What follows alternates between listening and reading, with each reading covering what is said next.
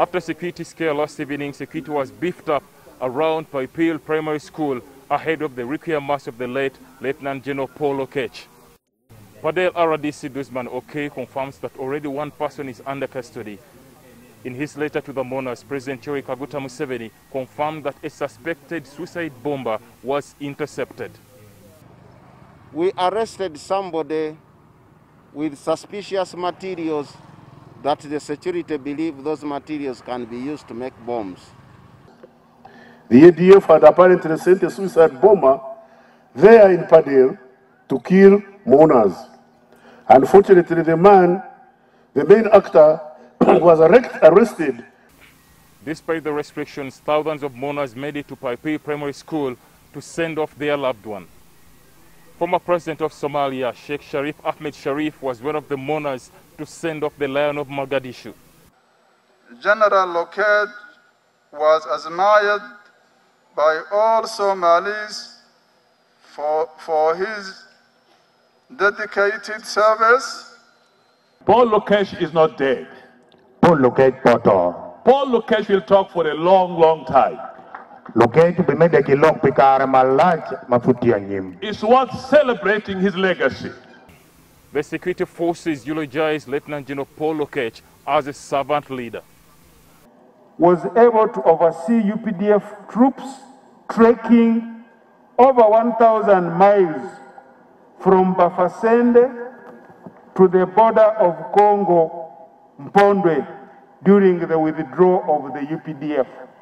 He believed in being part of something larger than himself.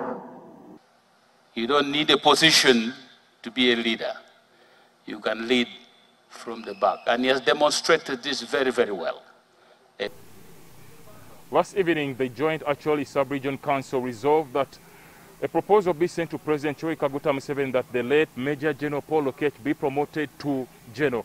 However, in his letter to the mourners, President Yoweri Kaguta Museveni promoted the late to Lieutenant General. I hereby, using the military, the, the authority given to me as president by Article 19, but Articles 98 and 99 of the 1995 Constitution of, the, uh, of Uganda, promote Major General Paul Lokech posthumously to the rank of Lieutenant General. Like most assignments, his recent appointment as the, I, the deputy GIP accorded him opportunity to spend more time and quality family time with him.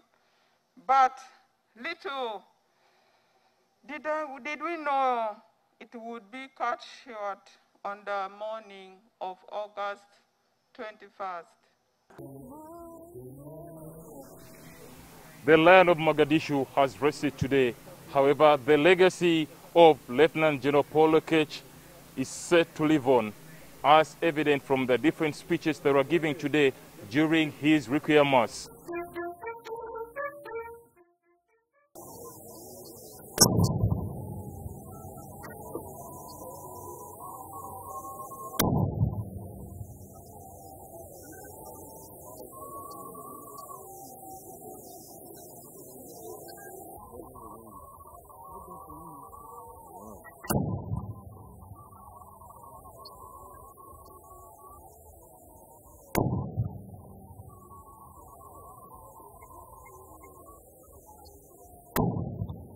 Ali Mivule, NTV.